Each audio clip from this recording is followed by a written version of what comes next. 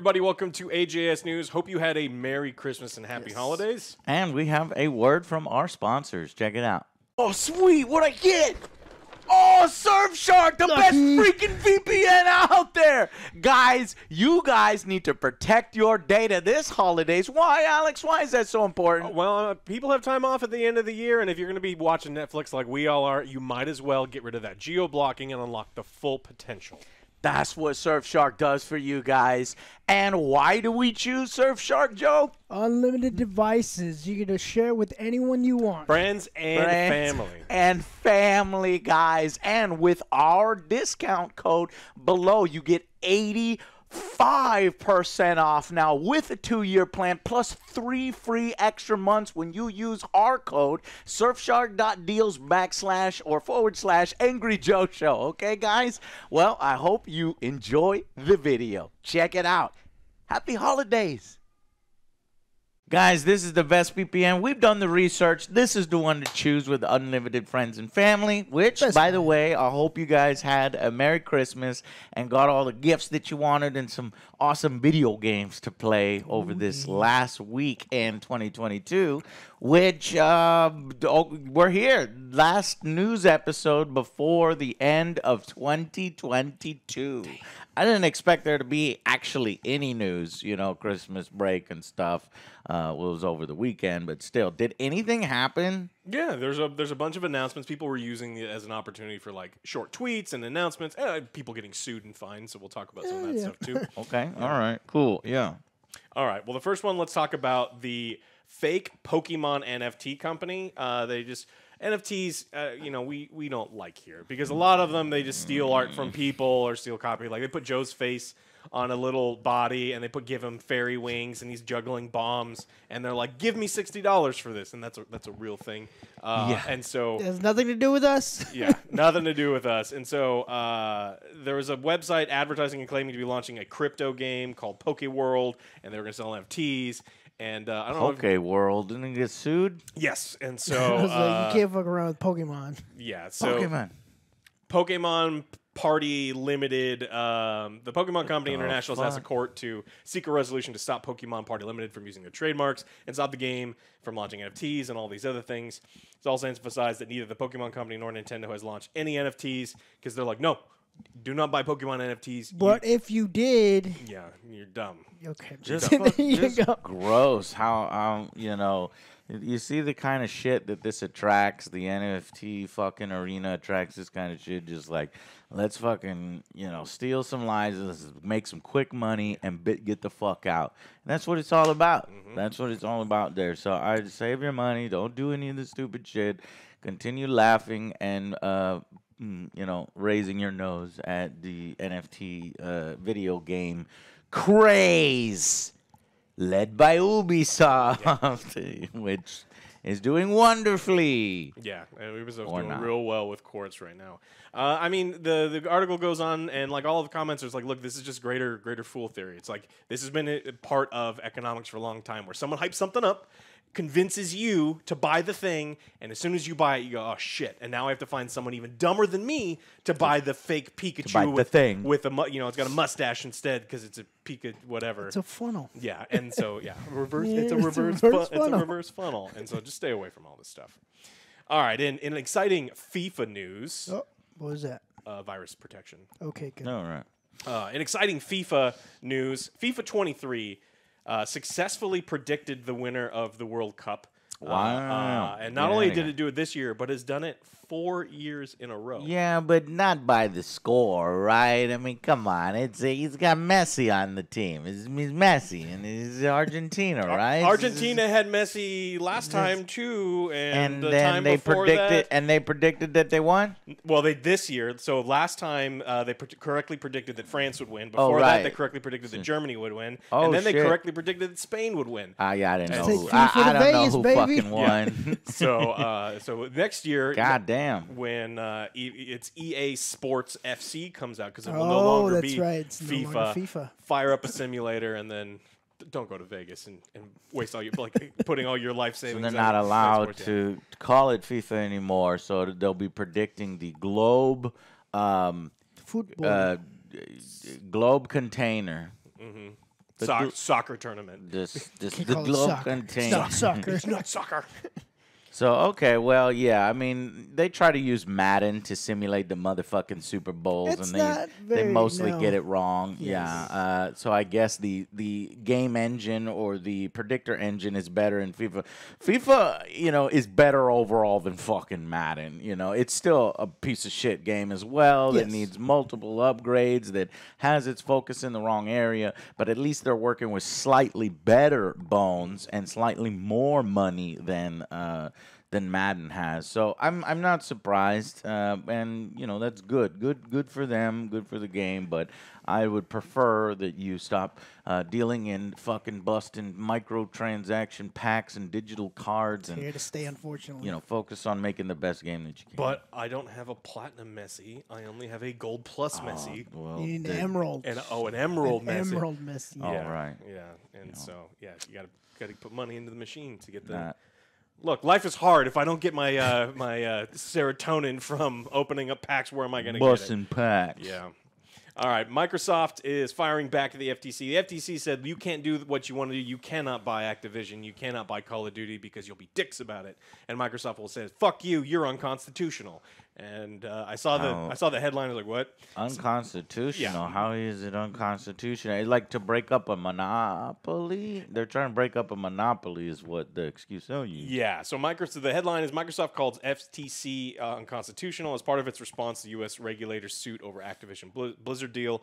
Xbox maker says that the commission is violating its Fifth Amendment rights.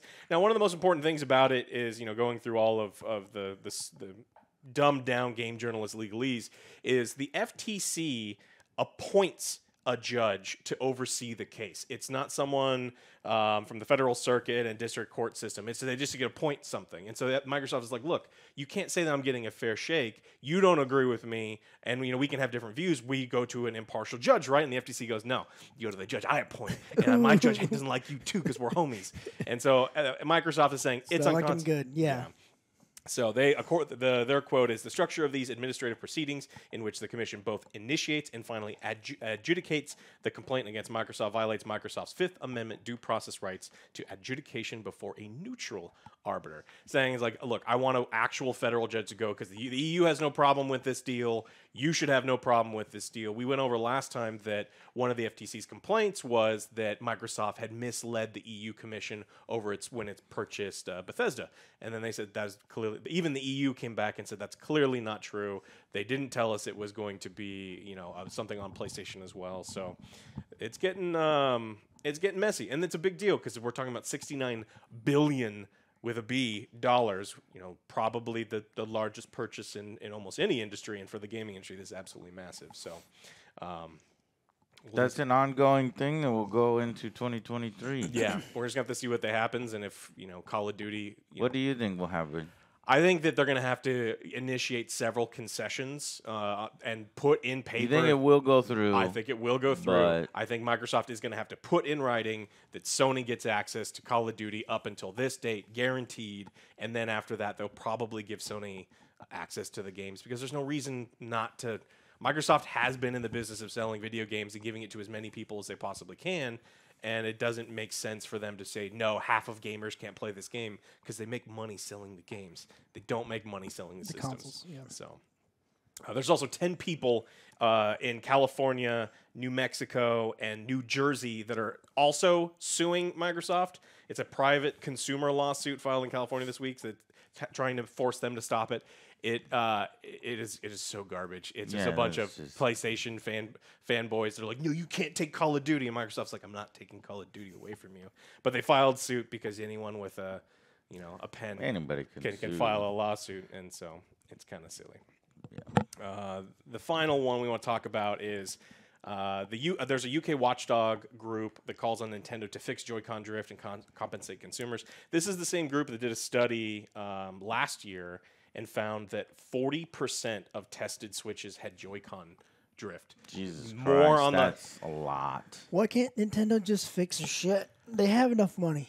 Well, it wasn't. so much backlash. Oh well, yeah, that's true. Uh, they they did offer that eventually. Yeah, if you if you sent to But everything you have in to and jump pay, through all these like l- hoops and shit. to Yeah, they do. made it super, super difficult to do.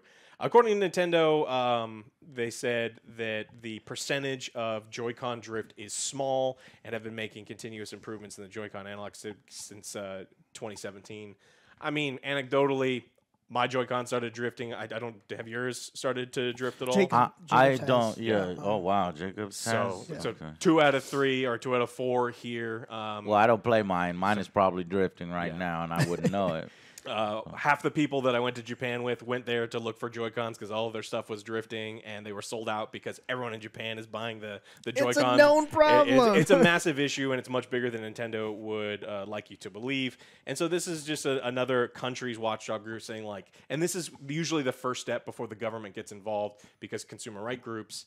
Um, feed things in and they do have some pull and when you can say look 40% of your, your product just isn't working because of faulty um, you need to actually do a formal recall and pay consumers to have all this stuff done because taking your joy cons and spending a whole bunch of money to ship them to a place and then being gone for seven weeks and then coming back to you is just completely and totally unacceptable. and unacceptable. if they give you a right one, Hey, well, yeah, they, they give you the, the and then sometimes they just send you ones back that just start to drift immediately too because Exactly. they, it's refurbished with. They're like, oh, no, let's do it again. It's like I don't want to be out of Joy Cons for 14 weeks. I want to play the system, so not not looking good for uh, for Nintendo Switch users. it's gonna Yeah. be a uh, consistent problem. Yeah, Wonder when they're gonna do their new console, the, the next generation of consoles. How much longer they plan to, to do the Switch? I can't see it coming out next year. I think it's got to be you know 2025. Yeah, Yeah. that sounds about right. They'll call it the Nintendo.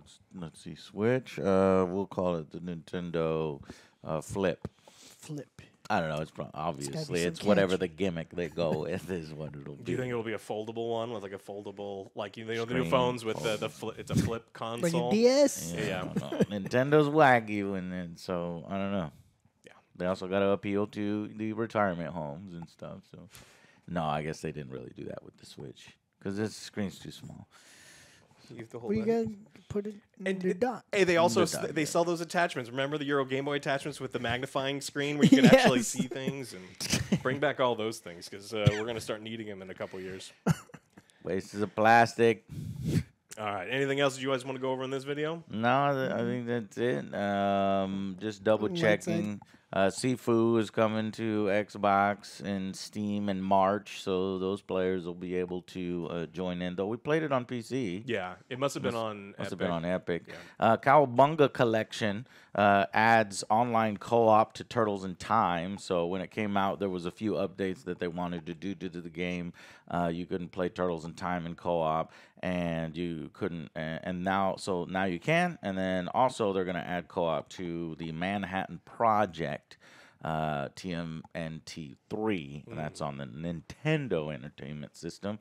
Uh, so a bunch of games there that they've updated. So I would like to to play that. That's you know obviously my childhood and some pretty cool games there. Lost Um, so much money playing Turtles in Time at the And I'll save the rest of these for the second video since there's not that much news going on here. Other than everybody being happy, okay?